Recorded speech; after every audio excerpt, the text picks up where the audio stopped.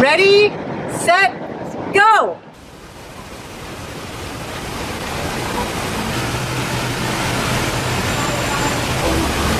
High five! Great job in that race, Joanne.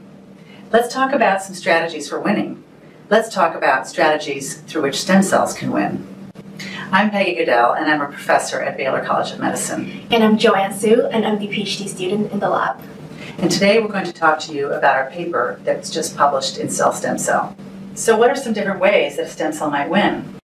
It could simply have increased self renewal. It's a stem cell after all. Or it could simply do better in an adverse environment. Or it could just have good luck. Clonal hematopoiesis is a natural paradigm in which stem cell winning is revealed. Competition in the bone marrow is dynamic over time, especially as stem cells acquire mutations with age. Some mutations may confer a fitness advantage, resulting in the expansion of certain mutant clones in the blood. This phenomenon, called clonal hematopoiesis, is increasingly prevalent with age. We next asked whether external stressors, such as chemotherapy exposure, can accelerate the progression of clonal hematopoiesis. For example, what happens in the bone marrow when patients with cancer are treated with chemotherapeutic agents? A subset of these patients go on to develop secondary hematologic malignancies, known as therapy related acute myeloid leukemia and myelodysplastic syndrome.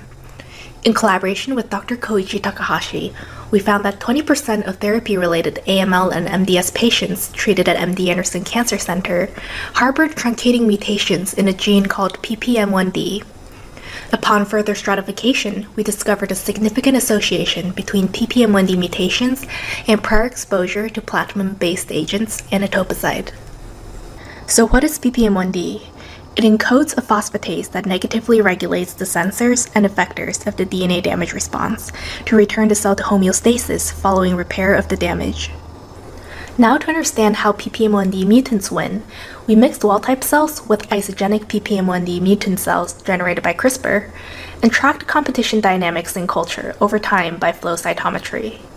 In the absence of stressors, PPM1D mutants do not have an advantage over wild-type cells. However, following treatment with cisplatin, we observed that PPM1D mutants are more resistant to apoptosis, and this translates to a competitive advantage that is compounded after multiple rounds of chemotherapy exposure. To model stem cell competition in an in vivo context, we next generated a novel PPM1D mutant mouse model.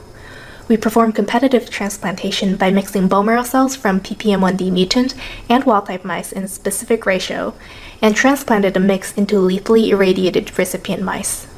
Following engraftment, we tracked peripheral blood chimerism at multiple time points by flow cytometry and observed that at baseline, PPM1D mutant cells did not win. But when the recipient mice were exposed to multiple rounds of cisplatin treatment, we saw a significant expansion of PPM1D mutant cells in the blood. Furthermore, we found that PPM1D mutants win after exposure to some agents, such as cisplatin and doxorubicin, but not all agents, as seen with vincristin. This project has really reminded me about the evolutionary pressures that you can find in ecological environments that I learned about as an undergraduate. Yeah, I remember about that story, the moths in England in the 1850s. Rare dark colored mutant moths were observed among a population of light colored moths. They perched on trees and were occasionally preyed upon by birds. However, when the Industrial Revolution generated pollution that darkened the trees, the dark moths acquired a fitness advantage by nature of better camouflage from the birds. These studies reveal that Darwinian selection for stem cell variants is ongoing all the time in our bodies. We think that understanding the relationship between specific drivers and different stem cell mutations could be very clinically relevant in the future. particularly for patients undergoing chemotherapy. This concludes our story about one strategy through which stem cells can win. We hope you enjoy our paper.